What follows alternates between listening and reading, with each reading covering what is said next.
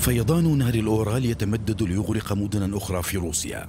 صور الأقمار الصناعية أظهرت مدينة أورنبورغ غارقة في المياه. الجسور والمنازل والمزارع ولم يعد يظهر منها إلا القليل. تبعد أورنبورغ أكثر من 1500 كيلومتر عن موسكو في اتجاه الشرق بمنطقة جنوبي الأورال القريبة من الحدود مع كازاخستان. ارتفع منسوب مياه نهر الأورال فيها إلى 978 سنتيمترا متجاوزا مستوى الخطر المصنف عند 930 سنتيمتر. ويتوقع الخبراء أن يزداد ارتفاع المياه إلى 70 سنتيمترا أخرى.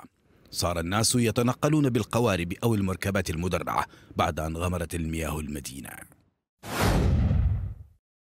حالة طوارئ أعلنت أيضا في مقاطعتي كورغان وتيومين جنوب غربي سيبيريا.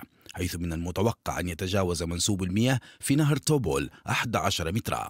السلطات باشرت عمليات الإجداء الاحترازي لبعض المناطق والبلديات. آلاف المنازل غرقت في المياه ومساحات واسعة من الأراضي طالها غضب النهر واندفاع مياهه الناجم عن الأمطار وذوبان الثلوج. الحكومة الروسية أعلنت الطوارئ الفيدرالية وقالت إن الوضع لا يزال صعبا في أجزاء كبيرة من روسيا. وقال ديمتري بيسكوف المتحدث باسم الكرملين إن مياه الفيضانات تواصل الارتفاع وتقترب من مناطق أخرى التوقعات فيها غير مطمئنة. تجاني خضر العربية.